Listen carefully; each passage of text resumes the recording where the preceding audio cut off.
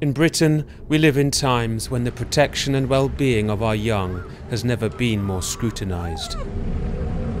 And we are rightly appalled when violence or cruelty is directed against them. But not all countries are like this. For some, children's rights to protection from harm depends on who you are. Every 12 hours, a Palestinian child is arrested. Their crimes, defiance against the state they blame for their misery.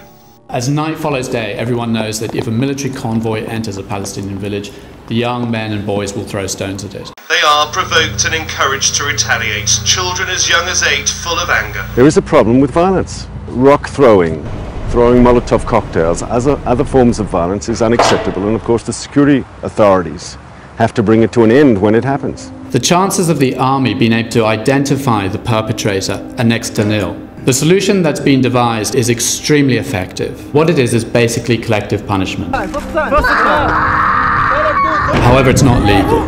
Since 1967, Palestinians and their children have lived under the control of the Israeli military.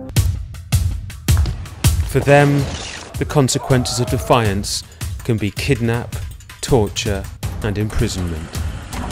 Very rarely are the parents told why their child has been arrested or where their child has been taken to in the middle of the night.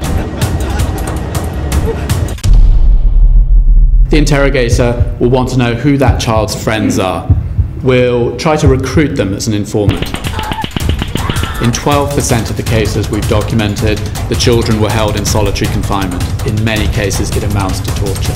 Remarkably, the country responsible is embraced by Western leaders as a fellow democracy and a force for good. Yes, we are bound to Israel because of the interests that we share, but ultimately it is our common ideals. The world needs Israel's values of tolerance and justice, those values clear and strong, and rejecting all challenges to them and those who would corrode them.